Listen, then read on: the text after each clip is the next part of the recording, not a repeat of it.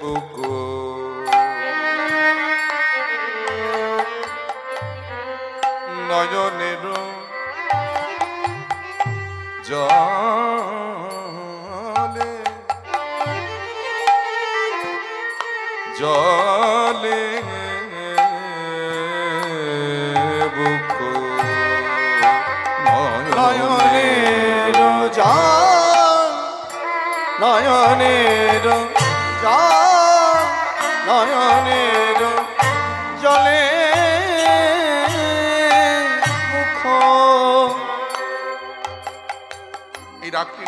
জয় জয়ন্তী। বর্ষা মানেই জয় জয়ন্তী। যেহেতু বর্ষার আবহাওয়া চলছে, আজ তিন চার দিন ধরে এই রাগটি মনে পড়ে গেল এবং সময় উপযোগী রাগ দানি রে রে গামা মা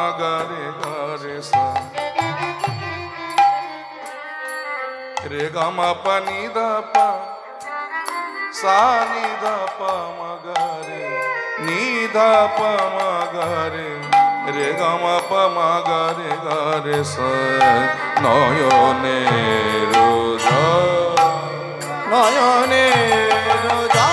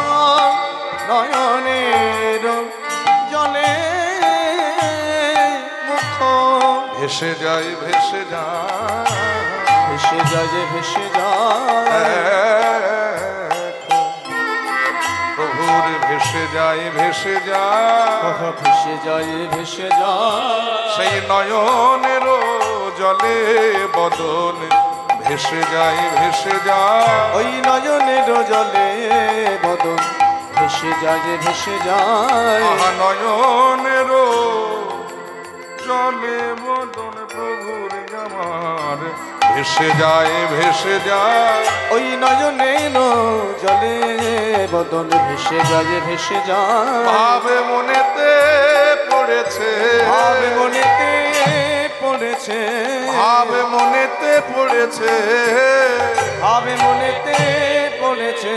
আমার ভাবে নিধি শ্রী গৌরাঙ্গের ভাবে মনেতে পড়েছে। ভাবে নিধি শ্রী গৌরাঙ্গের ভাবে মনেতে পড়েছে। আমার ভাবে নিধি শ্রী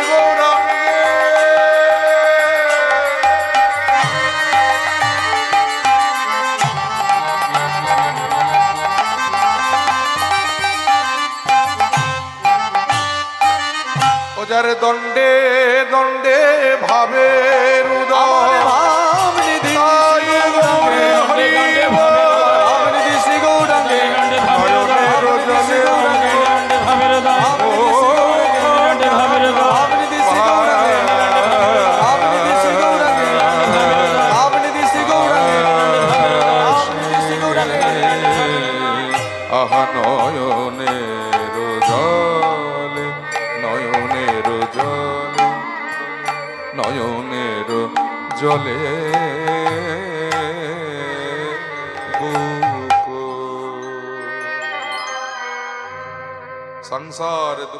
দুঃখ জলধোপতিত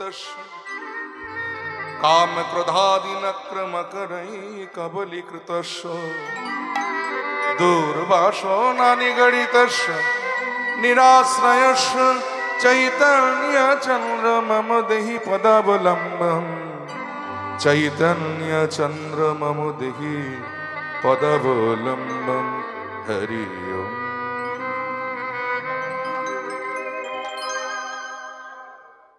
জয় গৌর হরি বল শ্রদ্ধেয় গৌর অনুরাগী কৃষ্ণ অনুরাগী ভক্তমণ্ডলী আমার বাবারা এবং ভক্তিমতী মায়েরা সকলের শ্রীচরণে সর্বপ্রথমে রইল কীর্তন জগতের সর্বকনিষ্ঠ জ্ঞানহীন ভক্তিহীন শ্রদ্ধাহীন কৃষ্ণপ্রেম মাধুর্যহীন পরমদিন শ্রী পলাশ সরকার এবং আমার এই ক্ষুদ্র সম্প্রদায়ের কোটি কোটি দণ্ডবত প্রণাম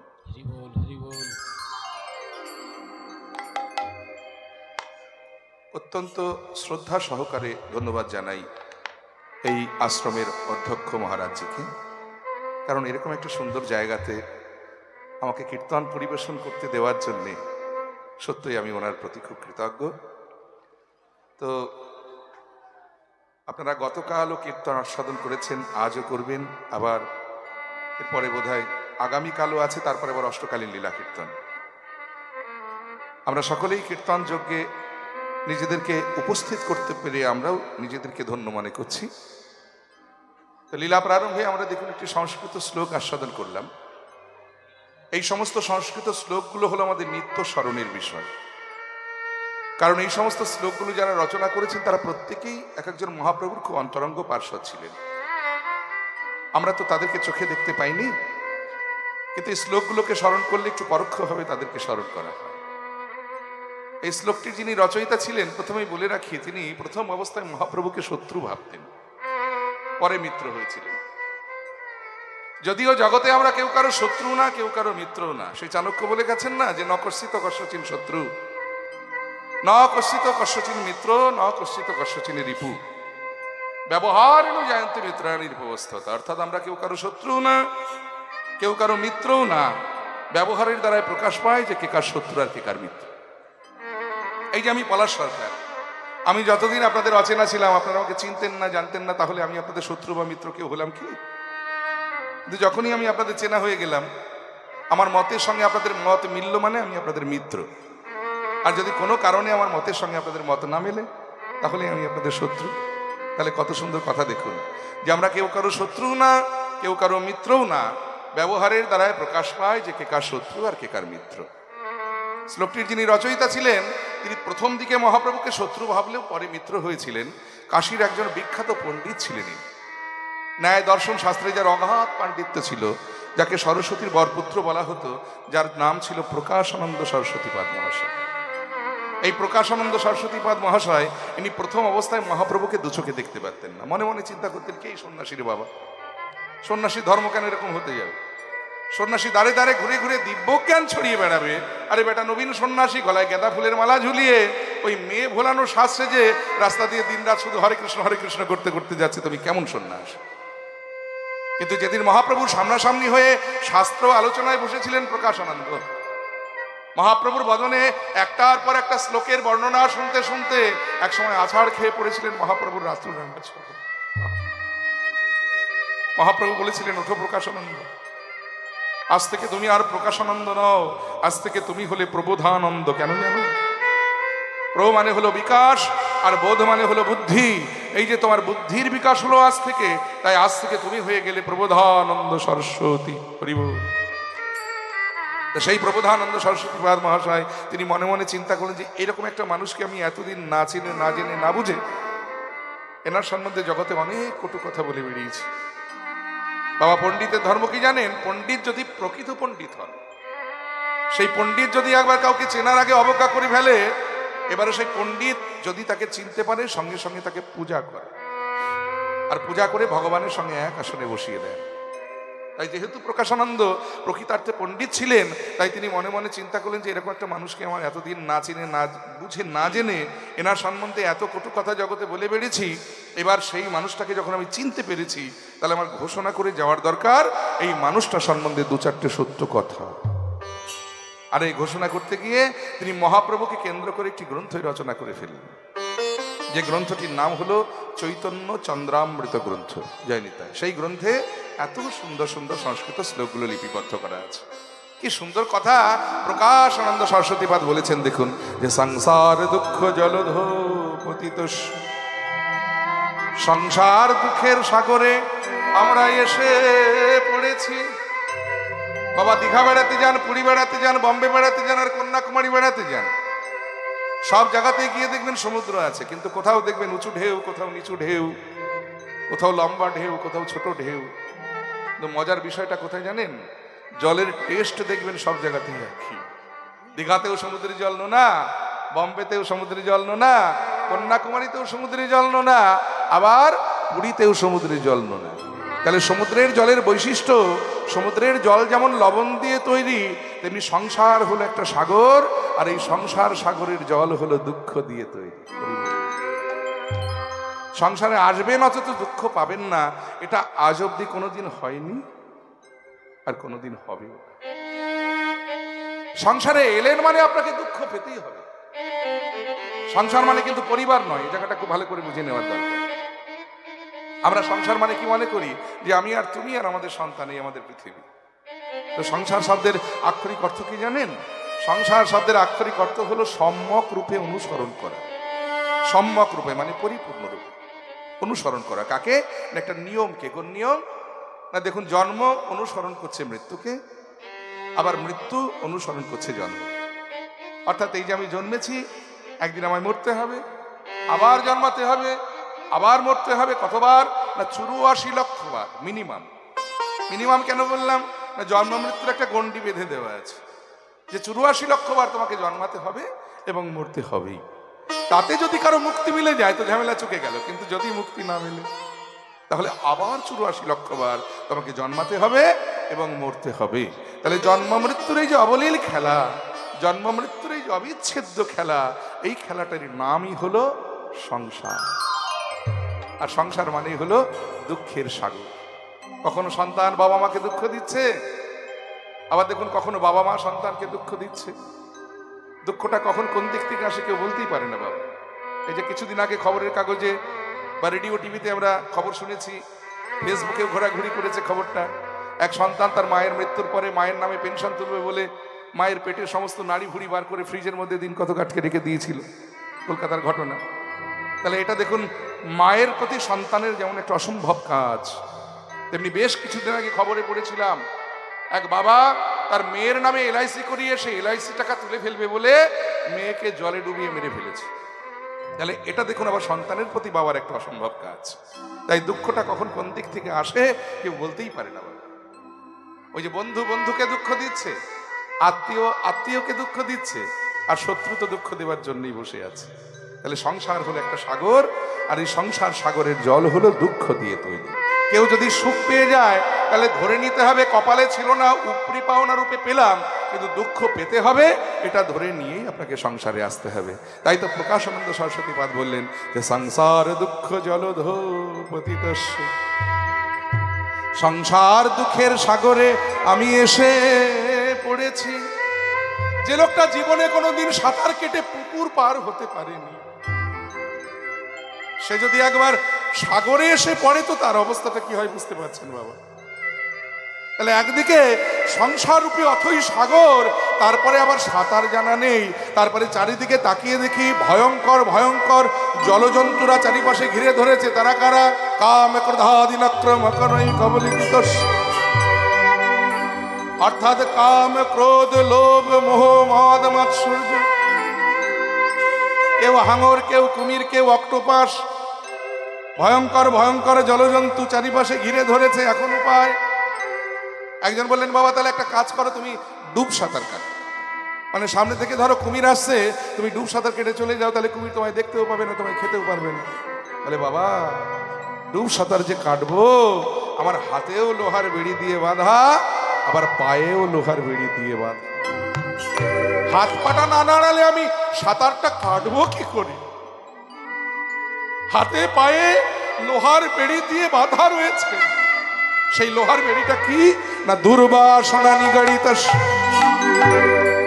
দুর্বাসনা রূপী লোহার বেড়ি আমার হাতে পায়ে বাঁধায় আছে। আমি কেমন করে সাঁতার দেব বলো? তাহলে একটা কাজ করো কিছুক্ষণ না হলে জলে অপেক্ষা করো, আমি না হয় আসি তোমাকে বাঁচাতে। বলে, অপেক্ষা যে করব, একটা আশ্রয় তো প্রয়োজন। কিছু না হোক, অন্তত মিনিমাম একটা গাছের গুড়ি বা একটা বিচুরি রাঠি যাকে আশ্রয় করে কিছুক্ষণের জন্য হলেও সাগরে ভেসে থাকতে পারব, কিন্তু নিরাশ্রয়স্য সামনে আমার কোনো আশ্রয় নাই। এখন আমি কেমন করে বাঁচব, বলো? ভক্তমণ্ডলী, ভক্তিমতী মায়েরা এখন সেই লোকটার প্রাণে বেঁচে থাকার আর কোনো উপায় আছে কি? যে লোকটা সংসার রূপী অথই সাগরে এসে পড়েছে। সাঁতার জানা নেই, তারপরে চারিদিকে ভয়ঙ্কর ভয়ঙ্কর জলজন্তুরা ঘিরে ধরেছে। হাতে পায়ে লোহার বেড়ি দিয়ে বাঁধা। ওদিকে সামনে কোনো আশ্রয় নাই। এখন সেই লোকটার ওই সাগরের জলে ডুবে মরা ছাড়া আর কোনো উপায় আছে কি? কিন্তু প্রকাশানন্দ সরস্বতীপাদ বললেন যে এমতো অবস্থায়ও লোকটা প্রাণে বেঁচে যেতে পারে। কেমন করে? অদূরে যদি কোনো নাবিক দেখতে পায় যে একটা লোক সাগরের জলে ডুবে মরছে, লোকটা তো তার কাছে যেতে পারবে না। এখন নাবিক যদি তাড়াতাড়ি করে নৌকাটা বেয়ে লোকটির কাছে আসে, লোকটার তো হাতে পায়ে লোহার বেড়ি দিয়ে বাঁধা, সে তো নৌকায় উঠতে পারবে না। নাবিক যদি কৃপা করে তার চুলের মুঠিটা ধরে তাকে টেনে নৌকায় তুলে নেয়। তাহলে তো লোকটা প্রাণে বেঁচে যেতে পারে। তাই হে চৈতন্য মহাপ্রভু। হে চৈতন্য মহাপ্রভু। সংসার সাগরের জলে আমি এসে পড়েছি। সংসার সাগরের জলে আমি এসে পড়েছি। এই বেলা তুমি যদি তোমার চরণ রূপী নৌকা নিয়ে না আস আমার তো ডুবে মরা ছাড়া আর কোনো গতি হবে তাই চৈতন্য চন্দ্র মম দেহি পদাবলম্বম। চৈতন্য চন্দ্র মম দেহি পদাবলম্বম। চৈতন্য চন্দ্র মম দেহি পদাবলম্বম। তাই গৌর হরিবোল হরিবোল হরিবোল। সেই মহাপ্রভুর রাতুল রাঙা চরণে প্রণাম জানিয়ে আমরা আস্বাদন করছি। আমাদের বর্তমান পরিবেশিত লীলা শ্রীধাম বৃন্দাবনে শ্রীকৃষ্ণের পূর্ব রাগ। শ্রীকৃষ্ণের পূর্ব রাগ। আপনারা গতকাল আস্বাদন করেছেন শ্রীমতী রাধারানীর পূর্ব রাগ। আজকে আস্বাদন করব আমরা শ্রীকৃষ্ণের পূর্ব রাগ। জয় নিতাই। তদভাবাচিত গৌরচন্দ্রিকা। আগে গৌরাঙ্গের ভাব আস্বাদন করে নেব, তারপরে আমরা বৃন্দাবন লীলা আস্বাদন করব। মহাজন লীলার এক পাশে দাঁড়িয়ে বললেন যে, বিরস বদনে গোরা কেন আছো বসি? নয়নে, জলে, বুকো, মুখ যায় ভাসি। যায় নিতাই। ভক্তমণ্ডলী, ভক্তিমতী মায়েরা, যে বিষয়টা আমরা আস্বাদন করব, এই বিষয়গুলো বৈষ্ণব পদাবলী কীর্তনের এক একটা স্তম্ভ, বুঝতে পেরেছেন? আর এই গানগুলো গাইতে গেলে, এই পালাগুলো গাইতে গেলে একটু বড় বড় তাল, একটু আউ এগুলো শুনতে হবে কিন্তু। বিরক্ত হলে হবেন জয় নিতাই। অতএব, এই দেখুন, এখনই আমরা একটা বড় একতালি গাইবো। আগে গাইলাম জোর সন্তাল, এবারে গাইছি বড় একতালি। বিরস বদনে গোরা কেন আছো বসি? নয়নেরও লোরে বুকো মুখ যায় হাসি। আহা, কিসের? কিসের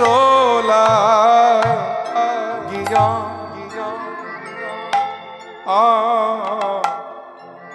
আগোরা আহা কিসের লাগিয়া গোরা তুমি ঘর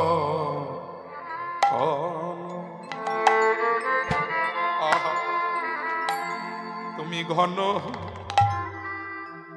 ঘন। আহা, ঘন ঘন। কাপো গৌর হে। কিসের কিসের গিয়া আগোরা আহা কিসের গিয়া গোরা ঘন।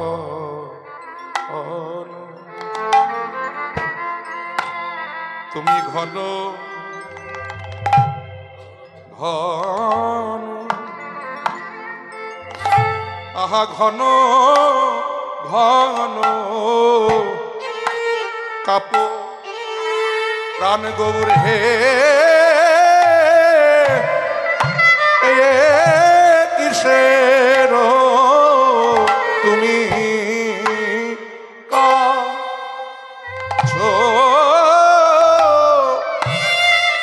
কাপিছ কেনে?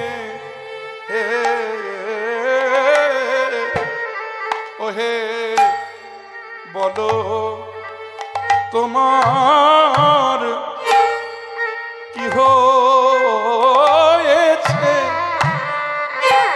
তুমি অমন করে কাঁপছ কেনে? ওহে বলো বলো, কি হয়েছে? তুমি অমন করে কাঁপছ কেনে একবারে বলো বলো তোমার কি হয়েছে? তুমি অমন করে কাঁপছ কেনে বলো বলো কি হয়েছে? তুমি অমন করে কাঁপছ কেনে? গৌর বলো। বলো। কি হয়েছে? অমন করে কাঁপছ কেনে? বলো বলো। কি হয়েছে তুমি অমন করে কাঁপছ কেনে এবার বলো তোমার কি হয়েছে? তুমি অমন করে কাঁপছ কেনে বলো বলো কি হয়েছে? কিবা অমন করে কাঁপছ কেনে তুমি বলো। তোমার কি হয়েছে?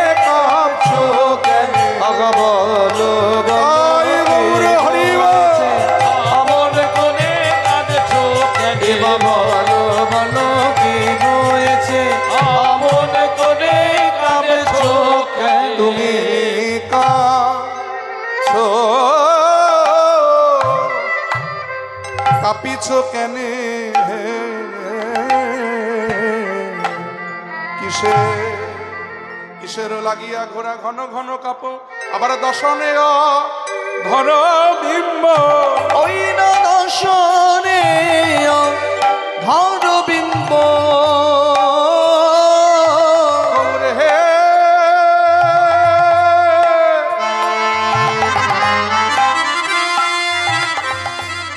ওহে প্রাণ গৌ ওই দর্শনে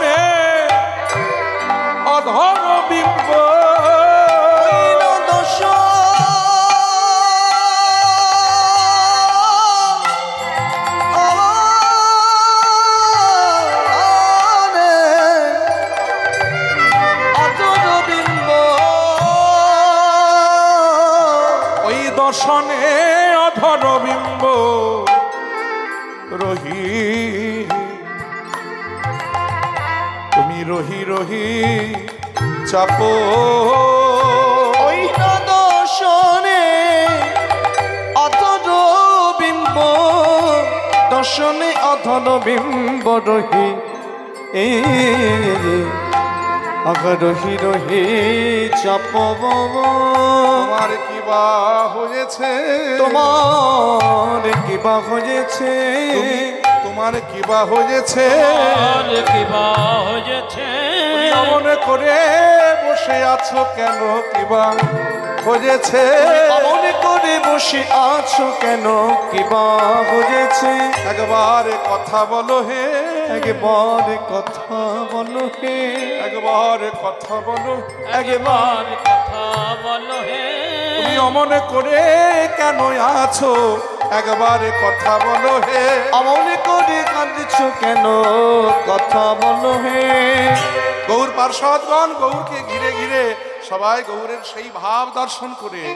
গৌর হরির নিকটে সবারই একটাই প্রশ্ন, তুমি এমন করে কেন বসে আছো? কি হয়েছে তোমার? হ্যাঁ? লক্ষ্য করছি আজ কয়েকদিন ধরে ওই সুধা মাখা হরিনাম, সুধা মাখা হরিনাম বদ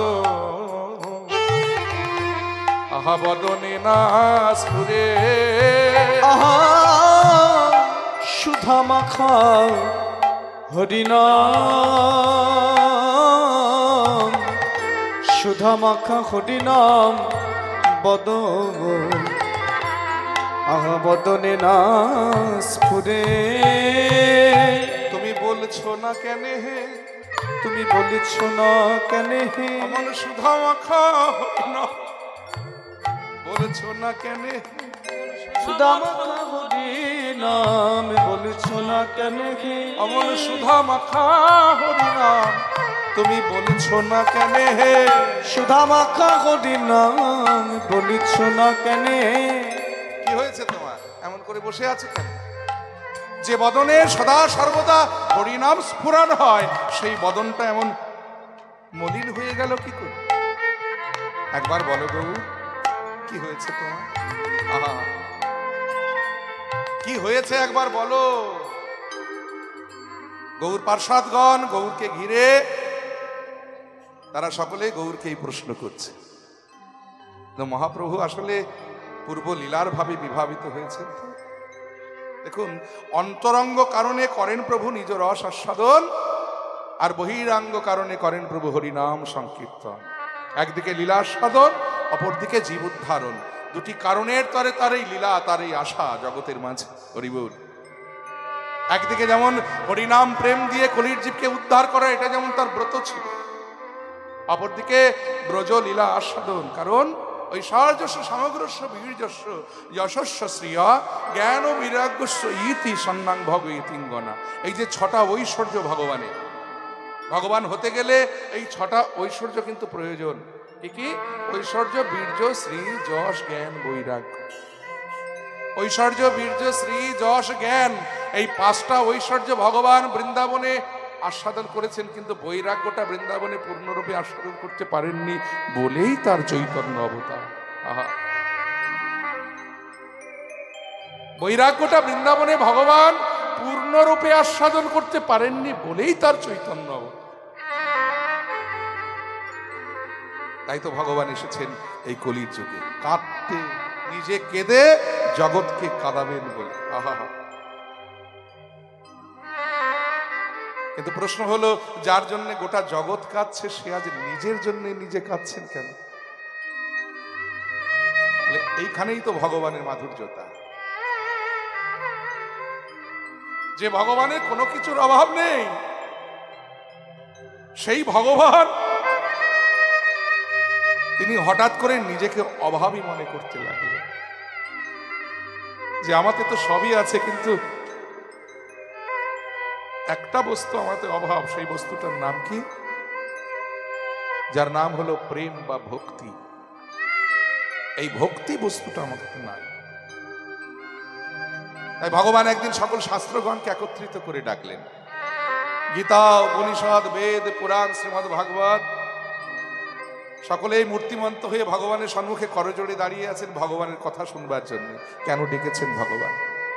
ভগবান বলেন, ওহে শাস্ত্রগণ তোমরা তো জানো যে আমি সর ঐশ্বর্যপূর্ণ ভগবান, আমার কোনো কিছুর অভাব নেই। আজকে হঠাৎ আমার নিজেকে অভাবী মনে হচ্ছে, কারণ সব কিছু আমাদের থাকলেও ভক্তি বস্তুটা আমাদের নাই। তোমরা আমায় বিধান দাও তো যে কোথায় গেলে আমি ভক্তি পেতে পারি। চিন্তা করুন, যিনি বিধান দেবার মালিক, তিনি বিধান চাইছেন শাস্ত্রগণের কাছে। গীতা বলছে, বেদ তুমি বলে দাও, আমি পারব না। বেদ বলছে উপনিষদ তুমি বলে দাও, আমি পারব না। উপনিষদ বলছে, পুরাণ তুমি বলে দাও, আমি পারব না।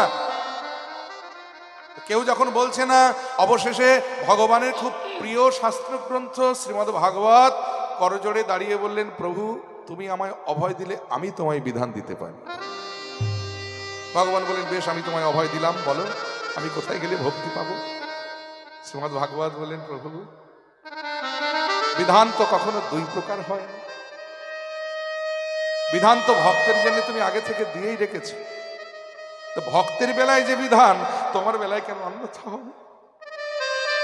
ভক্তি যদি তোমায় অর্জন করতে হয় তোমাকে ভক্তের সান্নিধ্যে গিয়ে ভক্তের চরণ ধরে তোমাকে কাটতে হবে। কারণ ভক্তি হলো ভক্তের সম্পদ। কিন্তু মজার ব্যাপার হলো এই ভক্তির জন্ম কিন্তু আবার ভগবানের শ্রীপাদ পদ্মে কিন্তু ভগবান সেই ভক্তির আস্বাদন জানেন না। যেমন দেখবেন পদ্মে মধু জন্মায়, পদ্ম কিন্তু মধু আস্বাদন করতে পারেন আস্বাদন করে কে? ভ্রমর? তেমনি ভগবানের শ্রীপাদ পদ্মে ভক্তি আছে বটে, তবে আস্বাদন করে কে? না ভক্ত ভ্রমর? অতএব সেই ভক্তি যদি তোমায় আস্বাদন করতে হয়, তোমাকে ভক্তের চরণ ধরে কাটতে হবে। কি অপূর্ব ব্যাপার, কি মজার ব্যাপার দেখুন। ভগবান সেই ভক্তি আস্বাদন করবার জন্য এসেছেন এই কলির যুগে। এর পেছনে আরেকটি কারণ লুকানো আছে। চৈতন্য চরিতামৃতে কৃষ্ণদাস কবিরাজ গোস্বামী কলম দিয়েছেন যে গৌর আবির্ভাবের একটা মুখ্য কারণ হলো কৃষ্ণ মাধুর্যের আশ্চর্য এক বল কৃষ্ণ আদি জীবগণ করয় চঞ্চল। অর্থটা কি দাঁড়াল? ভগবানের মাধুর্যটা এমন, শুধু জগতের জীব নয়, স্বয়ং ভগবান নিজের মাধুর্য নিজে দেখেই তিনি পাগল হয়ে গিয়েছে এটা গৌর ভাবে, আবির্ভাবের আরেকটি কারণ। একদিন বৃন্দাবনের নবকৈশোর নটবর বেশধারী গোবিন্দ, তিনি বৃন্দাবনের পথে দিয়ে হাঁটতে হাঁটতে যেতে যেতে হঠাৎ সম্মুখে একটা মণিখচিত দেয়ালে তার নিজের প্রতিচ্ছবি নিজে দেখে ভগবান থমকে দাঁড়িয়েছে। আহা, এই মানুষটা কি অপূর্ব গো! কি দেখতে? মনে মনে ভাবছে, এই মানুষটাকে যদি আমি একটু ধরতে পারতাম হৃদয়ে, তাহলে আমার হৃদয়টা শীতল হতো। এত অপূর্ব রূপের মাধুর্যপূর্ণ মানুষ। তা ভগবান নিজের প্রতিচ্ছবিকে নিজে ধরবেন বলে যেমনই ছুট লাগিয়েছেন, অমনি পেছন থেকে হাত টেনে বাধা দিয়ে দাঁড়ালেন কে? বিশাখা। আহা। এই বিশাখা হলেন কৃষ্ণ প্রেম কল্পতরু বৃক্ষের বিশেষ শাখা। যাই যদি রাধা কৃষ্ণের প্রেম সংগঠিত করে দিয়েছিলেন এই বিশাখা। সেই বিশাখা হাত টেনে ধরলেন, দাঁড়াও গোবিন্দ, কোথায় যাচ্ছে? বলে, দেখো না সম্মুখে কি অপূর্ব রূপের এক মানুষ। এই মানুষটাকে দেখে আমি এত চঞ্চল হয়েছি যে আমার বারবার মনে হচ্ছে যে এই মানুষটাকে যদি আমি কিছুক্ষণের জন্য আমার হৃদয়ে ধরতে পারতাম, আমার হৃদয়টা শীতল হয়ে যেত। বিশাখা বললে, গোবিন্দ, তুমি হাজার চেষ্টা করলে ধরতে পারবে না। বলে, কেন? না, যাকে তুমি ধরবে বলে দৌড় দিয়েছ, সে মানুষটা অন্য একজনের কাছে জন্ম জন্মান্তরের জন্য ধরা পড়ে আছে। বলে, কে সে? আমাদের বৃন্দাবনের করুণাময়ী গো, রাধা ঠাকুর।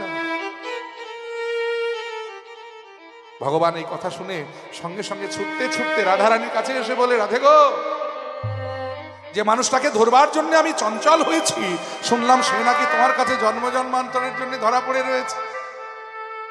আমি জন্ম জন্মান্তর চাইছি না, মাত্র কিছুক্ষণের জন্য আমায় একটু দেবে, আমি একটু হৃদয়ে জড়িয়ে ধরতাম আহা।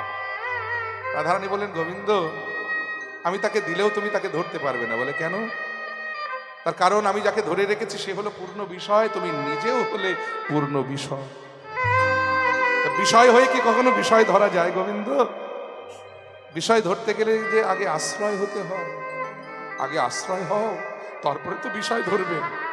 ভগবান বললেন আশ্রয় হওয়ার কথা যদি বললে আর কোথায় নতুন করে আশ্রয় নেব? আজ থেকে তোমার ওই রাতুল রাঙা চরণ আমি আশ্রয় করলাম। ভাবিয়ে দাও তোমার ভাবে কান্তি দিয়ে। ভাবিয়ে দাও তোমার ভাবে কান্তি দিয়ে। সাজিয়ে দাও তোমার প্রেম কান্তি দিয়ে দাও তোমার প্রেমে কান্তি দিয়ে।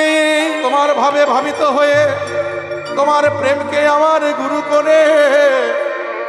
ওই প্রেমের ডালি মাথায় নিয়ে ওই মানুষটাকে ধরবার জন্য ব্রজ ছেড়ে নদিয়ায় গিয়ে আমি কেঁদে কেঁদে বেড়াইব ও গো রাধে গো।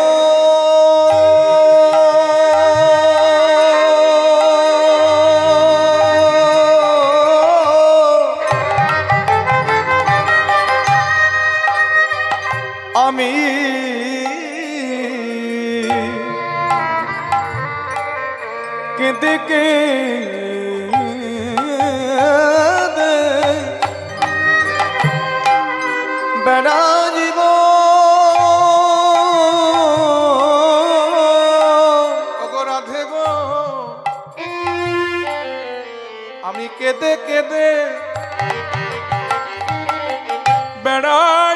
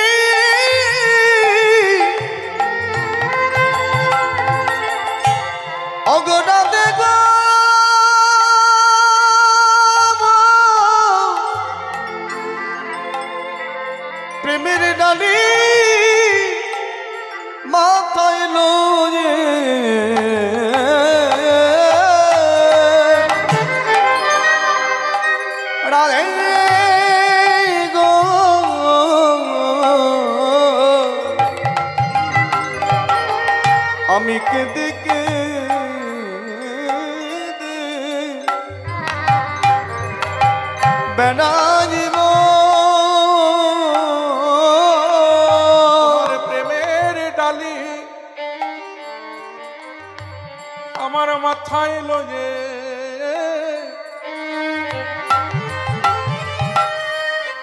আমি কেঁদে কেঁদে বেড়াইব। তোমার প্রেমের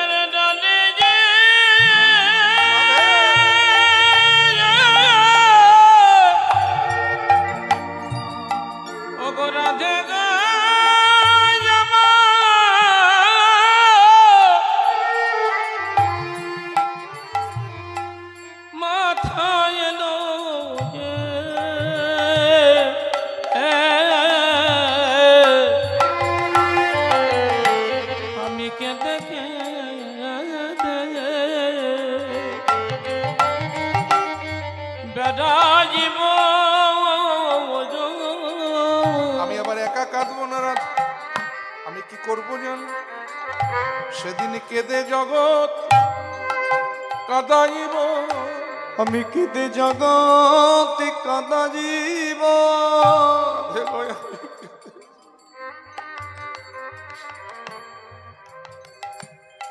জগতে কাদাইব। রাধে গো,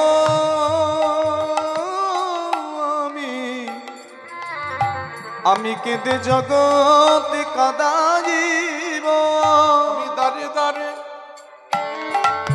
প্রেমে বিলাব। আরে কেঁদে জগৎ কাদাইব। এবারে দাঁড়ে দাঁড়ে প্রেমে মিলাবো আমি কেটে যাব কাদাইব। আরে দাঁড়ে দাঁড়ে প্রেমে বিলাব।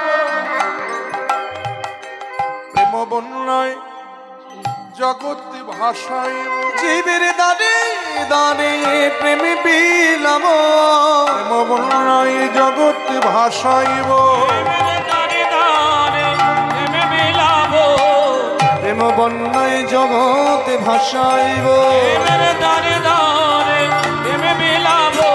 বন্যায় জগৎ ভাষাইব দাঁড়ে দাঁড়ে গাইব হরিব। জীবের দাঁড়ে দাঁড়ে প্রেমে বিলাম বন্যায় জগৎ ভাষাইব কেঁদে জগতে কাদা জীব সেই প্রেম আস্বাদন করবার জন্য আমার ভগবান এলেন গোলক থেকে ভূলোক। আহা, প্রকাশানন্দ সরস্বতীপাদ বলেছেন না তাই? যে আনন্দ লীলাময় বিগ্রহ আয় हे माभो दिव्यच्छवि सुंदराय तस्मै महाप्रेम रस प्रदाय चैतन्य चंद्राय नमो नमस्ते আনন্দ লীলাময় বিগ্রহায় তিনি আনন্দের লীলাময় বিগ্রহ আনন্দের লীলাময় বিগ্রহ আনন্দ কাকে বলি আমরা দেখবেন আমরা জগতে প্রত্যেকটা জীব যার যার মতো করে আপন আপন ভাবে আমরা আমাদের আনন্দ উপভোগ করে থাকি। সবার আনন্দ পাওয়ার ধরন কিন্তু একরকম নয়। কেউ টিভি দেখে আনন্দ পায়, কেউ তাস খেলে আনন্দ পায়, কেউ মদ্যপান করে আনন্দ পায়। তবে এগুলো কি প্রকৃত আনন্দ? শাস্ত্র বললেন, প্রকৃত আনন্দ কাকে বলে জানেন? যে আনন্দ অপরের নিরানন্দের কারণ হয় না, সেটা হলো প্রকৃত আনন্দ। আমি আনন্দ পাবো, অপরকে যেন আমি দুঃখ না দিই, সেটা হলো প্রকৃত আনন্দ। এখন টিভি দেখে আমরা আনন্দ পাই, কেউ কেউ টিভিতে কি দেখছি, কি শিখছি? দিনরাত ওই বাংলা চ্যানেলগুলোতে, বাংলা সিরিয়াল, আর সেখানে দিনরাত শুধু শাশুড়ি আর বৌমার ঝগড়া। তাই দেখে শাশুড়ি বৌমার উপরে অ্যাপ্লাই করছে, নইলে বৌমা শাশুড়ির উপরে অ্যাপ্লাই করছে। এতে দেখুন একজন আনন্দ পেতে গিয়ে আর একজনকে দুঃখ দিচ্ছে। এটা কিন্তু প্রকৃত আনন্দ নয় কেউ তাস খেলে আনন্দ পায়, তাস খেলে নিজে আনন্দ করছে, ওদিকে সংসার চলেই উঠেছে। গিন্নির সঙ্গে দিনরাত শুধু ঝগড়া। গিন্নি চিৎকার করে বলছে, দিনরাত শুধু তাস খেললেই হবে। সংসারের কথা চিন্তা করতে হবে না। তাহলে দেখুন, একজন আনন্দ পেতে গিয়ে আর একজনকে দুঃখ দিচ্ছে, এটা কিন্তু প্রকৃত আনন্দ নয়। কেউ মদ্যপান করে আনন্দ পায়। মদ খেয়ে নিজে আনন্দ করছে, ওদিকে রাস্তায় যেতে যেতে ভদ্রলোককে দু চারটি গালি দিচ্ছে। তাহলে নিজের আনন্দের জন্য আরেকজন দুঃখ পাচ্ছে, এটাও কিন্তু প্রকৃত আনন্দ। তাহলে আনন্দ কোথায় আছে? প্রকৃত আনন্দ কোথায় আছে? এই দেখুন, আমি কীর্তন গাইতে এসেছি, আপনারা কীর্তন শুনতে এসেছেন। আমরা কেউ কিন্তু কাউকে এখানে দুঃখ দিতে আসিনি। আমরা উভয়ে এসেছি এখানে আনন্দ পেতে। তাহলে কীর্তনে আছে প্রকৃত আনন্দ, আর কীর্তনের পিতা হলেন আমার চৈতন্য মহাপ্রভু। তাই তিনি হলেন আনন্দের লীলাময় বিগ্রহ। এরপরে বলা হলো, হে মাভ দিব্যচ্ছবি সুন্দরায়, হে মাভ সন্ধি বিচ্ছেদ করুন, হেম যুক্ত আভ হেম মানে সোনা, আভ মানে গায়ের বর্ণ। তার গায়ের রংটা কেমন? সোনার মতো। দিব্য ছবি। অর্থাৎ দিব্য ছবি। ছবি মানে এখানে এই যে ফোটো নয় কিন্তু। ছবি শব্দের অর্থ হলো অবয়ব। তাকে দেখতে কেমন? না দিব্য পুরুষের মতো। কিন্তু সেগুলো জেনে আমাদের লাভ কি? এই যে এত কিছু বললাম, আনন্দের লীলাময় বিগ্রহ। তার গায়ের বর্ণ সোনার মতো, তাকে দেখতে দিব্য পুরুষের মতো। কিন্তু এটা জেনে আমাদের লাভ কি? বলে, কারণ লাভ একটা আছে। কি? না, তিনি আমাদের একটা মহা মূল্যবান বস্তু দান করেছে সেটা কি? না, তসময় মহাপ্রেম ও রসপ্রদায়। আহা। এতদিন ভারতীয় দর্শন শুধুমাত্র চারটি স্তম্ভের উপরে দাঁড়িয়েছিল। কি কি? ধর্ম, অর্থ, কাম আর মোক্ষ। কিন্তু এই পঞ্চম পুরুষার্থ প্রেম। যে প্রেমের সন্ধান কেউ কোনোদিন দিতে পারেনি। অনার্পিত চরিং চিরাত করুণাবতীর্ণ কল সমার্পায়ত উন্নত উজ্জ্বল রসান স্বভক্তি শ্রিয়া শব্দটা ভালো করে অনুভব করতে হবে না। দন্তসয় বফালা সোয়া সোয়া মানে হলো নিজের। অর্থাৎ নিজের সম্পদ। তা নিজের সম্পদ দেখবেন কেউ কাউকে সচরাচর দিতে চায় না। কি বাবা দেয় না? আপনার বিঘে বিঘে সম্পত্তি থাকতে পারে, লক্ষ লক্ষ টাকা থাকতে পারে, দামি দামি গাড়ি থাকতে পারে। আপনি লোককে দান করে দেবেন? তেমনি ভগবান কৃষ্ণের একটা স্বভাব আছে। শাস্ত্রে বলা হলো যে কৃষ্ণ যদি ফিরে কভু, ভক্তি মুক্তি দিয়া, ভক্তি নয়, ভক্তি। ভয়ের অস্বীকার কয় তো এরও স্বীকার ভক্তি মানে হলো ভোগ, আর মুক্তি মানে হলো মোক্ষ। বলে কৃষ্ণ যদি ফিরে কভু, ভক্তি মুক্তি দিয়া, প্রেম কভু নাহি দেন, রাখেন লুকাই কেউ যদি বলে, প্রভু, আমি সারা রাত জেগে তোমার কীর্তন শুনব, তুমি শুধু কৃপা করে আমার একতলা বাড়িটাকে দোতলা করে দাও। ভগবান বলেন বা বা বা বা অল্পের মধ্যেই বেঁচে গেলাম রে বাবা, তো দোতলা নয় চার তালা করে দেবো বলো আবার কেউ যদি বলে, প্রভু, আমি সারা রাত জেগে তোমার কীর্তন শুনছি। তুমি শুধু কৃপা করে এই মায়ার সংসার থেকে আমাকে মুক্তি পাইয়ে দাও। ভগবান বলে, আরে বাপ রে বাপ, আবার এটাও চাস? আচ্ছা বেশ। তুই যখন চেয়েছিস, আমার নাম যখন ভক্তবান কল্পতরু আমি এটাও না হয় তোকে দিলাম। কিন্তু কেউ যদি বলে, প্রভু, আমি সারাটা জীবন নয়, শুধু জন্ম, জন্মান্তর ধরে তোমার নাম করব। তুমি শুধু কৃপা করে তোমার ওই প্রেম বস্তুটা একবার আমাকে ভগবান সঙ্গে সঙ্গে বলে দিলেন, ওটি হবে না বাচ্চা ওটা আমি তোমায় দিতেই পারব না, কারণ আমার নিজের সম্পদ। আর ওটা আমি তুলে রেখে দিয়েছি আমার নিজের মানুষের জন্য। আমার নিজের মানুষ কারা? যারা হলেন বৃন্দাবনের ব্রজ গোপীগণ যারা সর্বস্ব পরিত্যাগ করে আমার সুখকে নিজের সুখ করেছে, আমি কেবলমাত্র আমার নিজের সম্পদটুকু আমি তাদের জন্য তুলে রেখে দিয়েছি। ওটা তো আমি তোমায় দিতে পারব না, কিন্তু সেই ভগবান যখন গৌর হইলেন কলির জীবের মাঝে, যে এতদিন শুধুমাত্র রাধারানীর হৃদয় ভাণ্ডারও লুকানো ছিল, ইন্দ্রের বাঞ্ছিত ধন, ব্রহ্মার বাঞ্ছিত ধন, সেই গোলকের গোপনের ধন, কিশোরীর হৃদয় ভাণ্ডারের ধন। তিনি সেধে যেছে জীবের দ্বারে দ্বারে দান করলেন। যে নিতে চাইলেন তাকেও দিলেন। যে নিতে চাইলেন না তাকেও দিলেন। কত বড় কৃপাময় প্রেমময় দেখেছেন? আহা, সেই বস্তুটা কি? না ব্রজের উন্নত উজ্জ্বল রস। উন্নত উজ্জ্বল। উজ্জ্বল মানে কি? মায়েরা উজ্জ্বল মানে কি? চকচকে। তাহলে উন্নত ধরনের চকচকে রস। কি বাংলা হয়ে যাচ্ছে রস আবার কখনো চকচক করে নাকি? এই যে হিরে, চুনি, পান্না, মতি, প্রবাল, দামি দামি রত্ন যদি এক জায়গায় একসঙ্গে রাখা যায়, কোনটা বেশি চকচক করবে? হিরে? আর তার জন্য বাজারে গিয়ে দেখবেন হীরের মূল্যটা সব চাইতে বেশি। তাহলে রত্নের মধ্যে যেটা সবচাইতে মূল্যবান, সেটা যেমন চকচক করে, তেমনি রসের মধ্যেও যেটা সবচাইতে উৎকৃষ্ট, সেটাই তো চকচক করবে। তাহলে বৃন্দাবনে মুখ্য রস কটি? না পাঁচটি, কি কি? শান্ত, দাস্য সখ্য বাৎসল্য, মধুর। শান্ত রস মানে ওই যে সাধু, সন্ন্যাসী, ত্যাগীগণ, যোগীগণ, ঋষিগণ, তারা দিনরাত পাহাড়ের গুহাতে বসে বসে পরমেশ্বরকে চিন্তা করছে, আর নয়ন মধ্যে কেবলই তারা বলছে, হরি অর্থাৎ বিলীন করে দিচ্ছে তারা নিজেদেরকে যে তুমি পরমাত্মা, আর আমি হলাম জীবাত্মা, তোমার সঙ্গে তুমি আমাকে বিলীন করে নাও, এই হলো শান্ত রস। আর কেউ যদি ভাবে সে আমার প্রভু আর জন্মে জন্মে আমি তার চরণের দাস, সে হলো দাসরসের ভক্ত। আবার কেউ যদি ভাবে আমি অর্জুনের মতো ভগবানের বন্ধু হব, আমি শ্রীরামের মতো ভগবানের সখা হব, সুবলের মতো ভগবানের সখা হব, সে হলো সক্ষরসের ভক্ত। আবার কেউ যদি ভেবে নেয় আমি নন্দরাজার মতো কৃষ্ণের বাবা হব, যশোদার মতো কৃষ্ণের মা হব, সে হলো বাৎসল্য রসের ভক্ত। আর কেউ যদি ভাবে সে আমার প্রিয়তম, আর আমি হলাম তার প্রিয়তমা। এই হলো মধুর রস। আর মধুর রসটা এমনই রস বাবা, প্রিয়তমার মাথার চুল থেকে একেবারে পায়ের নখ পর্যন্ত প্রিয়তমের সেবাতে রাধারানী কেমন শাড়ি পরলে কৃষ্ণ খুশি হবেন? রাধারানী সে রঙের শাড়িটাই পরতেন ওই যে কালকে আপনারা রাধার পূর্বরাগে পদাবলিতে আস্বাদন করেছেন না? যে বসি থাকি থাকি উঠায়ে চমকি ভূষণ খসাইয়া পড়ে। আহা, একবার খুলছে, একবার পড়ছে। খুলছে কেন? না, বেটার কোনো অলংকারের সন্ধান পেয়েছে।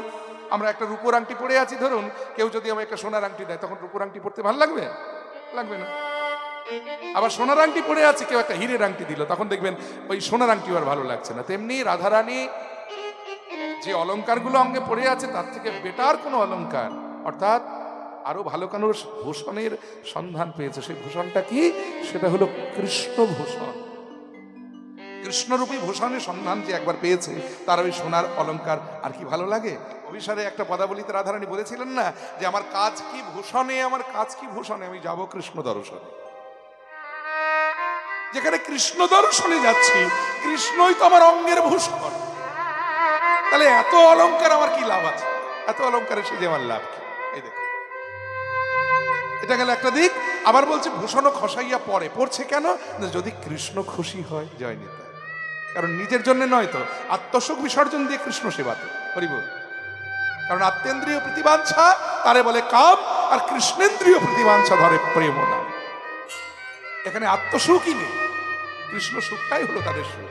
তাই ভূষণ খসিয়ে আবার পড়ছে কেন? যদি কৃষ্ণ খুশি হয়।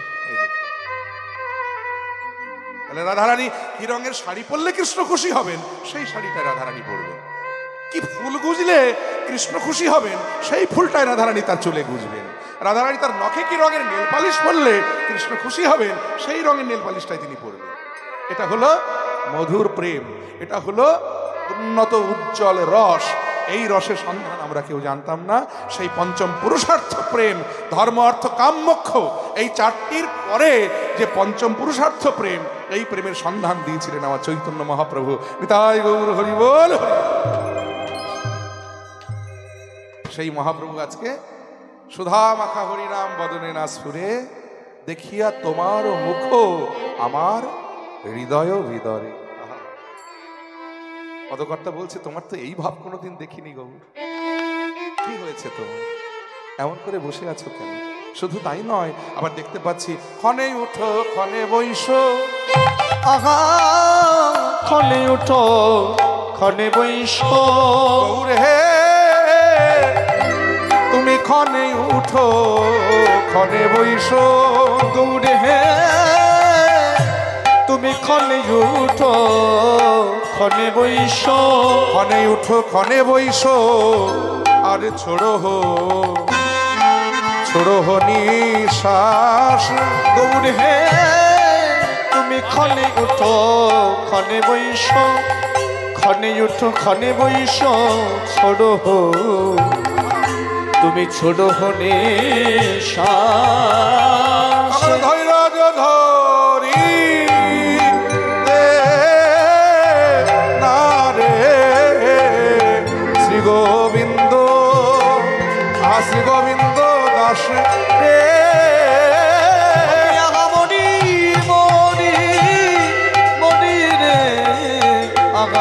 গোবিন্দ শ্রী গোবিন্দ